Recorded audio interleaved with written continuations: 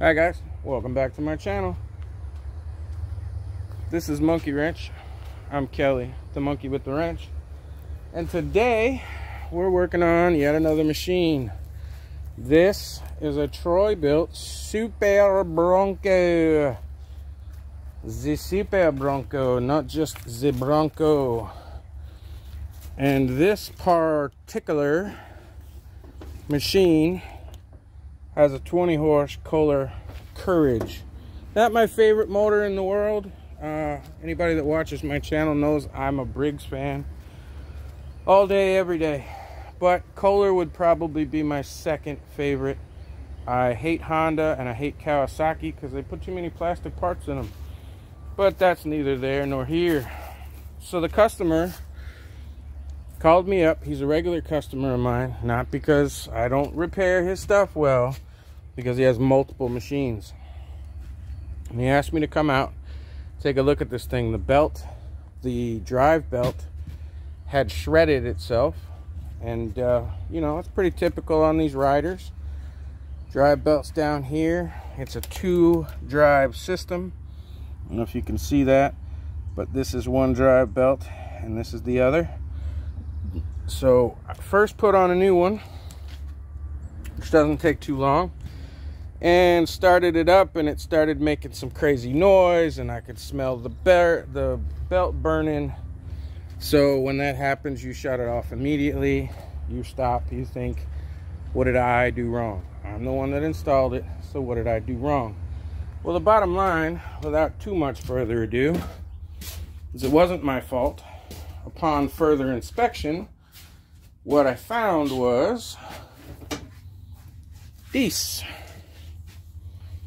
This is your variable speed drive pulley. Now this is on um, dozens of machines and it's a floating pulley, okay? So your bottom belt that attaches to the motor up in the front and through all the pulleys along the body, that goes on the bottom here. And then the top belt just uh, goes into your transmission here so that you can drive. So one powers the unit and the other one is to be able to move it. And what had happened was, see what had happened was, I couldn't tell at first what was going on until I realized, check this out. Let me, uh, let me put the camera down here if I can, hang on. All right. So what had happened was, this pulley slides up and down and it runs on a set of bearings. Now, I don't know if you can see that very well, but this is not supposed to be wobbling, okay? And what happened right now is, the long and the short of it, is that right inside of here, this is bearings. These are ball bearings that are in there, and there's half of them are missing. I'm sure you're not going to be able to see that. Let me see if I can get some light on this thing. See the ball bearings that are in there and the space between them and how it's all crooked in there. And right now they are moving around so it's kind of jammed. But that is supposed to be the same amount of space all the way around and they're supposed to be ball bearings all the way around touching each other. And because they've all moved to one side, I can't even really show you how bad this thing's wobbling. You see how the, watch the screw go up and down. Okay, this whole thing is toast. Now it's taken because of the pandemic, because of shipping problems, because of the war over in Ukraine. I don't know why. The prices have gone crazy on these things and they want well, they want as much for that pulley as you can buy a used riding mower for. So I talked to the customer. He said, find me a used one. I got a buddy of mine that runs a junkyard for lawn tractors around here. And I have had him on high alert. I've had a couple of guys across the state on high alert. And it's taken like three months to find a used one of these. Now, don't worry about the fact that it looks a little surface rusty. Uh, what's important is you see there, okay, you see how you have the same amount of space all the way around. Trying to come out in the sunlight, it's about to rain. But you have the same amount of space all the way around here. And in this case, you can't see those ball bearings. A, there's a little bit of dirt in there. But B, there's also a little rubber, uh, sort of an O-ring or a grommet that is in there that covers them over and keeps the grease on them. So there is no movement whatsoever. That's what was wrong with this thing. And as it spins, it got hot the bearings wore out. Nobody greased them. Nobody ever greases those. Uh, it takes somebody that runs a repair shop like me to know to even grease them. But uh, it didn't get greased. The grease wore out. This thing spins 3,500 times a minute. It got hot. It burned up the bearings. It melted out the rubber O-ring and the bearings just disintegrated. And then the pulley went wonky, screwed up the belt, ripped the belt off. Uh, it happens. Now, buying that pulley, if you can buy it new or used, is absolutely worth it. Uh, don't scrap a tractor over it. This thing is actually in good shape. It's a little dirty right now because if you've watched my other videos, it's been sitting over there in the corner. Uh, and then we had, you know, leaves coming off the trees. and So it needs a good bath. And I had to air up one of the tires. It's been sitting for a while and uh, he had it sitting at his place for like two months because he got COVID. So it's been sitting for about six months. So I'm going to give it a, a clean up and I am going to put the new pulley in place. Now I'm not going to show you the installation. Uh, I will sort of. You see there's three bolts right here. Okay, oops. There's three bolts here. One, two, three. And they line up right down there on the frame okay so when you know where it goes the bolts come in from the outside of the machine so I'm to go here between the wheel and the frame and I'm to put the bolts in I'm to feed the pulley down where it's supposed to be and I'm to screw those bolts in and I'm to tighten them up and all I have to do then is feed these two belts around the pulley if you're not sure which is which, look inside the machine. Uh, one is higher than the other. The drive belt is the longer belt, or the, the motor belt is the longer belt, and it's down low. Clearly, there's, you know, an inch or so between the shorter one. This right here is a tension arm, so that will move when I'm ready. The belt, the top belt goes around that, and that will move in order for me to feed the belt onto the top pulley. So I'm going to clean this up, get most of the surface rust off of here. It looks bad, but it still feels smooth. Uh, I'm going to grease it. I'm to shoot it with some oil. Then I'm to bolt it in place, feed the belts back around, and I'll show you what that looks like after the fact. So right now, it goes in right over there, okay? So when you see this in a second, it'll be in place.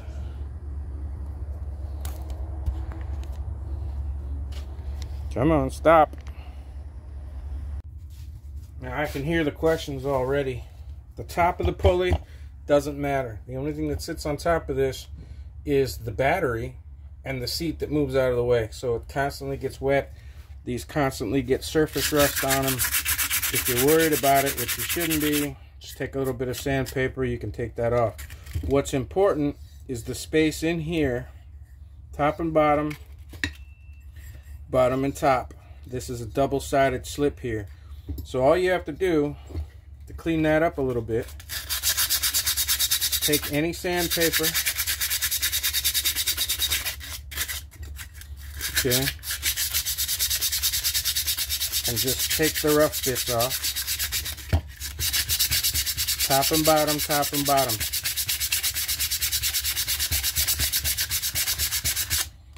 Okay. It's still smooth as a baby's buttocks in here. But you can see that little surface rust comes right off. No problem at all. So I'm just going to take the sandpaper, take all this stuff off of here. I'm going to do the edges here, the edge here. I'm going to get up in here and make sure that there's no no burrs. That's what I'm looking for. Again, I'm not worried about the surface rust. The belt will actually take that off when you get it installed. But I'm going to run around it with a little bit of sandpaper, make sure that there's no burrs in there, there's no metal that's sticking up. And then I'm just going to shoot it with some good old-fashioned grease all over the thing. Uh, wipe it down real good. I'm going to spray it with a little bit of carb cleaner to get the excess grease off of it. What I want to do is protect the, the metal, okay, without getting oil all over the belt. You get oil in the belt, then it wants to slip. Uh, people will tell you that the belt won't work and all that. You, you got to have a lot of oil. You got to have a lot of caked oil on a belt, in a belt, for it not to work. A little film of oil on there to protect this stuff from rust again. It's not a big deal, but do it at your own discretion. All right, now take you back outside. A little cloud cover. But basically all I did was just what I said. Okay, I can't see in the lens of my camera. But I just took the sandpaper. This middle one actually spins freely by itself. I just took sandpaper, top, bottom, top, bottom, around the edges to make sure that it was all smooth. Surface rust doesn't matter. Coloration doesn't matter. You're just looking to make sure that there's no burrs or anything like that. That will mess up the belt when you put the new belt on. That's all there is to it. You clean it up, you spray it down. This is going back on the tractor. Okay, now what I did was I went ahead and put the pulley in place. There it is. I put the three bolts in, in, but I didn't tighten them down. So there's still enough room for this to move. Now, the first thing that you're gonna have an issue with is that there is a metal keeper right here. And in order to get the lower belt past that keeper, you have to use your fingers and you have to go in there and you have to pull that middle pulley all the way to the top. If you feed that side of the belt in first because it's easy and there's no keeper, you won't be able to squeeze that middle pulley up towards the top because the belt will be in the way. So you have to start with this side. Pull that middle pulley up as far as you can, feed the belt into the lower side of the pulley between the keeper, then you can put the other side on. Then the, then the middle pulley floats where it's supposed to. Now all I have to do is take this upper belt Remember I said there's a tension arm right there. So I'm gonna push that to get the tension and get that belt around the pulley and that's it. Now, they don't give you much room to work on these things. You have this little battery box, which is barely enough to get one arm in, let alone two. You have a little bit of space here between the frame and the wheel inside of there. So what I did was I took this piece of rope same rope from my last video, trash rope. I ran it through the hole on that spring assisted arm. Ran it out the side of the tractor. Then I just reached in here like this, grabbed it with my hand and pulled this way. At the same time, I reached in from here and pushed on that arm so I could get that arm to come over far enough to feed that upper belt right around that upper pulley. Easy peasy.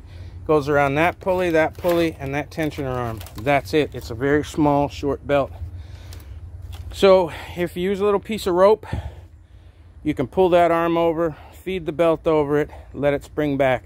Now I got to take that rope off and I got to tighten those bolts on the side. I just put them in. They're right there. I just put them in by hand far enough to hold that pulley so it could still move and wobble while I did what I needed to do with the belts. It makes life easier if you leave it loose. Now on this particular tractor, the bolts in question are one, two, three. That's it. That's what holds that entire pulley on right there, those three belts. And you can see it's between the frame and the rear wheel on the left side. If you're looking straight at it. Now I gotta take this rope out of here. Pardon me for a second. You leave that in there, it'll get caught around those pulleys and you'll have all kinds of trouble. So take the old rope out, throw it back in the trash pile. Now, my pulleys are all in place. Large pulley, this is track, this is on the top of the transmission. It goes around the top part of the pulley we just installed and it goes to that tension arm. So it is always tight, okay? That's always tight because that's when you put it in gear, forward and reverse. Now the other belt, the actual motor drive belt, you can see that can move in my hands. The reason for that, let me see if I can push it over. You see how far that'll go? And watch what happens. See how it straightens right out? I'm pushing the gas pedal basically. This is a variable speed transmission. The harder you push the gas pedal, the tighter it makes that belt, the tighter it goes on that pulley, the faster it goes. It's just that simple. So when you're done testing it, there's, there's really not any way to mess up the belts. One belt that goes around the top is only about, I don't know, I think 26 inches long. So it's about the size of a large pizza. And the other belt has to be long enough to stretch from the back of the tractor all the way up to the front. It's uh, 98 inches or something. So you really can't put the wrong belt, the right belt in the wrong place. It's only one place for it to go. It's only one way for it to go. So all I'm gonna do now, and here I'm using the same clip. I use this for everything. I used this in my last video to show you why your machine won't start after this after the winter time. And you go out in the spring to cut your grass for the first time and your machine won't work. Use that tool or the same piece of string that I just used on this riding mower to fix that problem. So don't tell me that you don't want to invest in tools, okay? Don't tell me that you don't really have the knowledge. This ain't rocket scientist. Those bolts, just tighten them, crank them down. You don't need specs and, uh, you know, torque wrenches and all that crap. Just tighten it down. All it is is a, a frame uh, that holds a pulley in place. That's it. And to fix this machine, I used one tool, a 10 millimeter socket, which I know everybody has a little socket set, okay, or a box wrench. You can use a regular old wrench, 10 millimeter, to take those three bolts out right there. I used a piece of rope to pull the tensioner over to get that belt off, okay? And I used that little clamp you just saw just to hold these wires out of my way because they were, you know, they drive you crazy. They're always falling in places you don't want them to fall and they're in your way. So now I'm going to put my little battery box holder thingy back in place. Okay. This is really difficult to install, so you got to pay attention here. All right. It slides in there you got to make sure that your wires are free, negative and positive for your battery. And make sure your little rubber cup is up high enough you can get to it, okay? And now your battery box is installed. Real difficult, right? Not even any tools required. So I'm going to reinstall my battery. The only other tool I'll need is a wrench for these nuts. I'm going to put a little grease on them too. Uh, to tighten those leads onto the battery. And then we're going to, I don't think it's going to start. It's been sitting for six months. I'm gonna turn it over, see if I can get it to start. If not, I'm gonna have to pull the carburetor off and clean it, which I totally figure I will. And that gas is six months old, so I'm gonna drain the old gas out, clean the carburetor, and then I'm gonna start it up and we're gonna drive this thing around for a few minutes and let you know that even though I talk a lot, and this video is longer than it should be, it's easy to fix the things on your tractor. Don't let an expensive pulley that's hard to get to intimidate you. I used one tool, one wrench, one socket. That's it.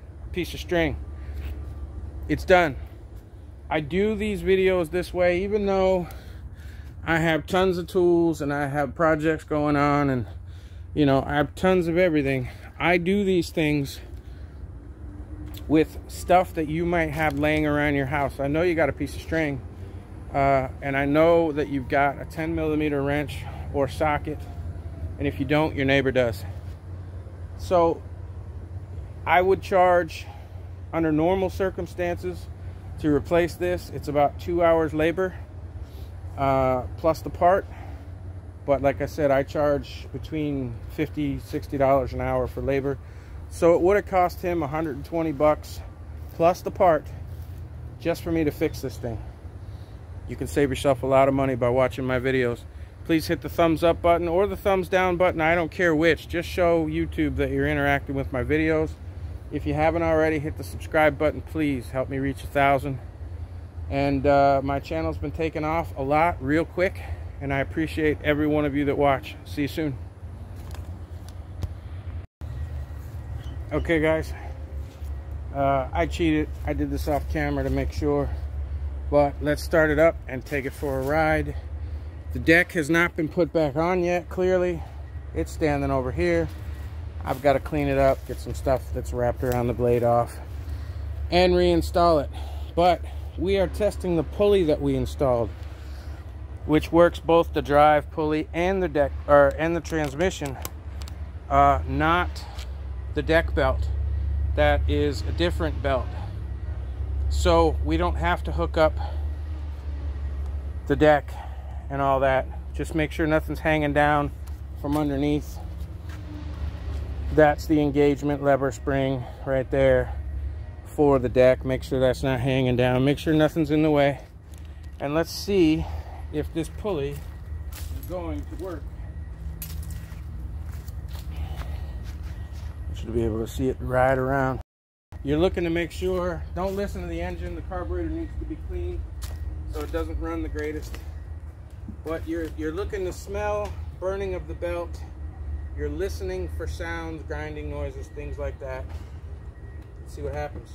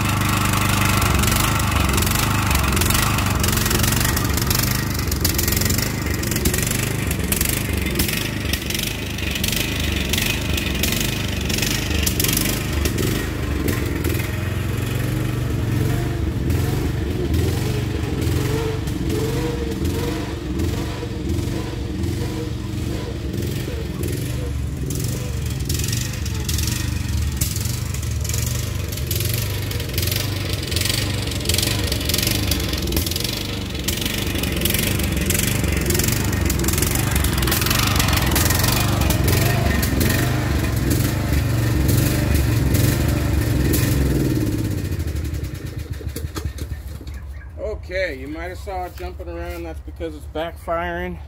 Believe it or not, that fuel is has not been changed. I did not drain the old fuel out because I wanted to see what kind of situation we were going to be in. Uh, if it was a dead no, start, no start whatsoever, then I knew that I was going to have to put that carburetor through the ultrasonic cleaner two or three times to get everything clean after pulling it apart. But thankfully, my man Carlton uses non-ethanol fuel. He goes to the gas station that around the corner that actually sells non-ethanol fuel. So even though that fuel is six months old, it didn't have ethanol in it, so it didn't go bad yet. Carburetor's gonna get a quick tickle through, clean it up. I'm gonna adjust the idle, make sure the air filter's in good shape. That can all cause it to run rough. But you saw, I drove this thing around. Uh, you know, out to the end of my yard and back. And forward and reverse works fine. She's run, she's driving smooth. Uh, I don't feel anything it shouldn't be feeling, and I don't smell anything I shouldn't be smelling, which tells me everything's good to go and back in place. As soon as I clean this carburetor, I can give it back to my man after months of waiting on this part. So thanks for stopping by. See you soon.